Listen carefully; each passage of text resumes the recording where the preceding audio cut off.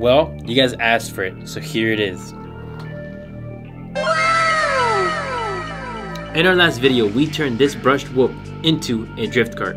And based off the results, we read the comments and we noticed that you guys were very, very interested. We decided to come up with our own design and we created the BeeKart.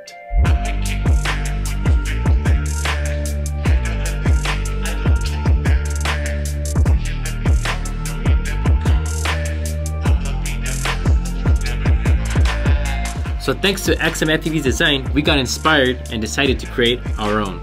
After many revisions and a lot of testing, I believe that we finally have a version ready for you guys, the public.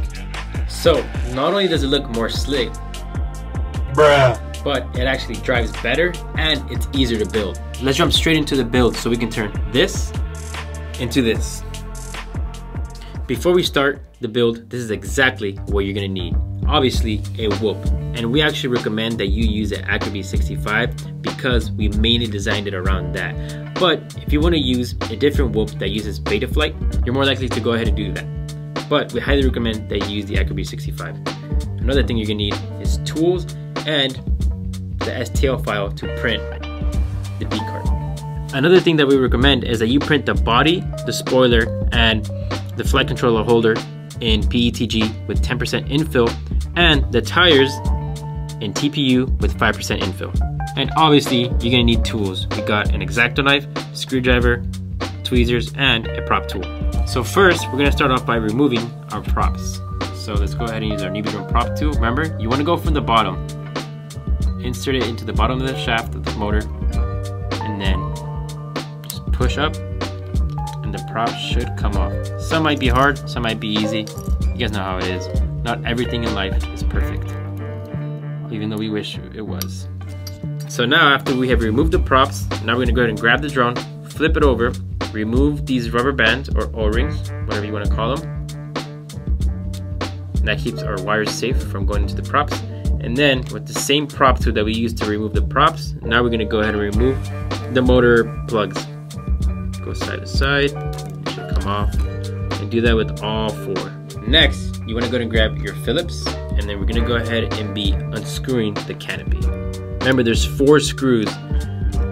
The left, back, and then the right.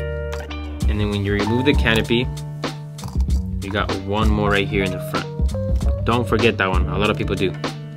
Next, after we have removed the screws, go ahead and remove the flight controller from the frame. Do not unplug the camera wires or the antenna. You can keep it like this because that's how it's gonna go in the cart. Now, let's do this. All right, this is the next step. We're gonna remove the motors from the frame. Now, this step is gonna be pretty difficult for some people, and for others, it might be easier. But just push it out. There we go. And I push it between the wires, not on the motor wires itself. Now, remember guys, this is at your own risk. We go. There's one. Now let's do that three more times. Be careful with the motor wires. Don't just yank it out and make sure that this goes through, goes fully through so you don't damage a motor wire from the back. So you guys are probably wondering, what is holding that beautiful wheel on the Drift BeeKart? Well, guess what? We are using a 0.8 millimeter as a prop. You're gonna have to remove the blades in order for you to put it in here. Now, I know some of you probably feel very bad about damaging a new prop, but don't worry. If you have an old one, which we highly recommend you do, so you don't have to damage your new ones, use those. But it does have to be a 0.8 millimeter as a prop. And also, this part can be dangerous, so please be as careful as you possibly can. All right, so there's two ways of doing it. You can snip it, or you can just go and grab the blade and just keep twisting until it comes off. There we go. All right, so the last one was actually kind of difficult because I got sweaty hands. So if you guys are like me with sweaty hands, this is where the dangerous part comes in. So please, if you're under 18, do it under parental supervision. But if you're over 18, do it at your own risk. And we're just gonna cut the edge and just cut it down. There we go. And then obviously trim off the other edges. Pretend like you're cutting vegetables, but instead it's an bro. And cut straight down. Don't cut towards yourself, and don't slice your towards your hand or your towards uh, towards someone. Always away from yourself, down. this other corner right there. There we go. Okay, so after we have cut off all the prop hubs, now let's insert them into the wheel. They're all fresh, nice and clean. After you have grabbed your prop hub, you want to go and insert it into the center of the wheel. And there's, there's obviously one side where you can really insert it. You can't really mess the step up. So just push it in there. Might be a little bit difficult, might not. Then we just push it in. Boom. Make sure it's flat. And there you go. So now we're gonna show you how to install the motor into the wheel hub. Because if you do it wrong, this can happen. And you don't want that to happen, guys.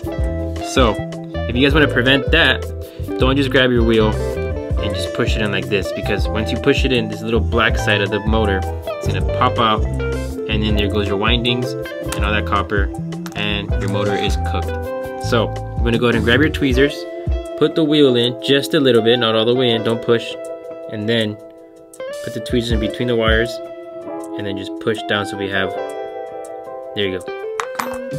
Now we have equal amount of force in the back and doesn't just come out. So now it's going to do that with the other three. You want to make sure you put both of the counterclockwise motors on the left side of the car and you want to make sure you put both of the clockwise motors into the right side of the car. We're going to start off by putting it in and then we want to yank the wire a little bit, not crazy hard. And then you go ahead and just push it in there gently. Might be a little bit hard, Obviously, it depends on your printer. And don't push it all the way in like that. You want to prevent that. So if that does happen, like right now, just push it out. So make sure that black cap at the end of the motor aligns with the end of the body frame. You don't want it to go all the way in. You guys can see that little motor extrusion right there? That is completely normal. Trust me, you don't want it all the way in because there's going to be friction between the wheel and the body frame. You want it just like that. This is the best way to do it. So for the rear, when you install the motor, you want to make sure you route the wires in this little groove that right here that we designed. So you don't squish the motor wires when the battery goes in. Insert it. Just like how we did with the other one, not all the way through. And then grab your motor wires and twist it and put it right in between that groove right there. After we have finished installing our wheels into the body, now we're gonna go and install the flight controller mount. Now, I know some of you might just wanna put in here and just push down. If you are gonna push down, you wanna push down with the sides that have the poles, not from the sides that don't have any support because that's just how you break it. So we have one right there. Insert it, push in with not too much force. There we go until you push it all the way down. Might require a little bit of force, but not too much. And now we can install the flight controller. So now you want to go and grab the motor plug, put it under the flight controller mount, grab it, and then just put it under because that's where we're going to plug it in. You want to do that with all four motors. So don't go above like this. You want to go in the bottom and then plug it in from right there. Alright, now let's install the flight controller and plug it in. So, remember right side is clockwise, red and blue, and left side is counterclockwise, black and white. And for the flight controller, the back is a USB port, so that goes in the back. So let's go ahead and plug it in like this. Don't yank on the wire either really hard.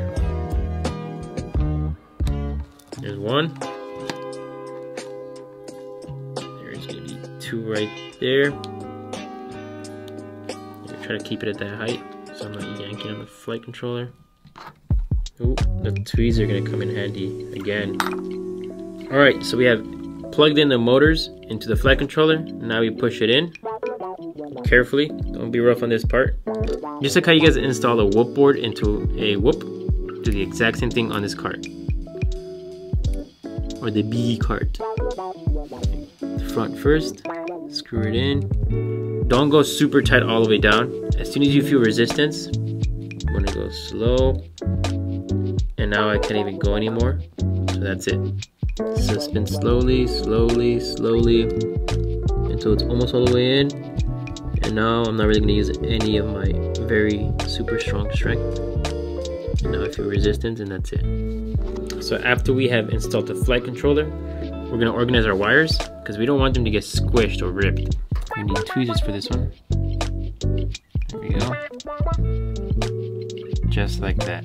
Because the battery's gonna come in through the middle because we need that lower center of gravity. So we can do those crazy drifts. And after we have fixed the motor wires, just like that, you wanna go ahead and fix your prop hub and make sure it's flush. And uh, it's not sticking all the way in or sticking all the way out like that.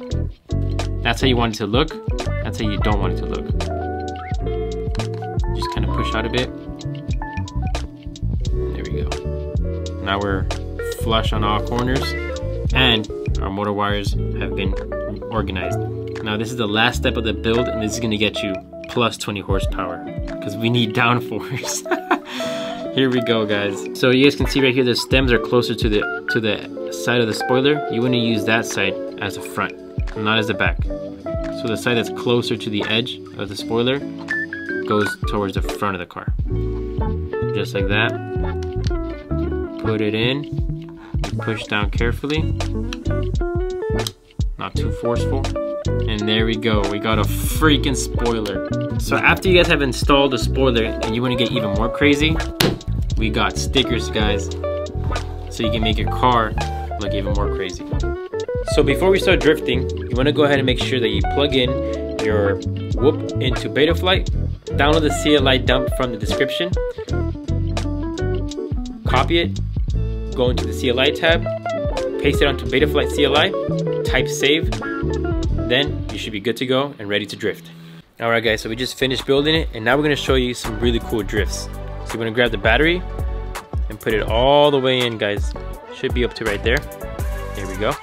And then grab the battery plug and plug it in. Now we're ready to put some heat in this engine. Alright guys, so let's actually show you the controls real quick, just like a regular drone your arm, your throttle is actually gonna be your throttle, just like a regular drone. And then with your turning, you use your right stick to turn.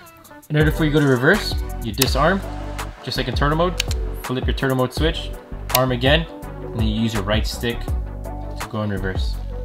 And then another cool thing is, an awesome feature that NewBeeDrone added was the lights. Look at that.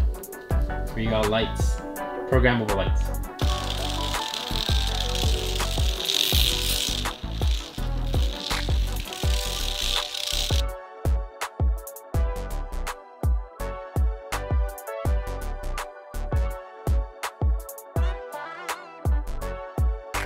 Congratulations guys, you guys just finished building your BeeKart. So comment down below if you guys did build one, what we can improve on, or what you would like to see. If you'd like to see a, a bigger spoiler, or even a front lip, or even LED lights, or you know even more crazy stuff just comment down below and let us know what improvements we can make if you guys do some crazy drifts and you have them on video on dvr tag us at Drone and we'll be watching them and repost them because we want to see how crazy you can get. We want to see some crazy tokyo drifts. And don't forget to like comment share subscribe and tag us on your drifting videos. Peace out guys. Drone out